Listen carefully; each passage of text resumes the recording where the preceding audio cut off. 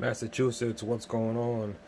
Uh, this week we worked on a um, RAID 5 array of four 1 terabyte um, hard drives. This is a RAID 5 array setup.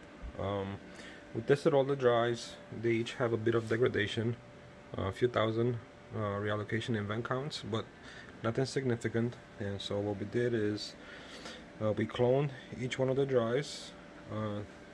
To destination drives here drive 0 drive 1 drive 2 and drive 3 uh, once the cloning process is has been completed we reassemble the array virtually here in R-Studio.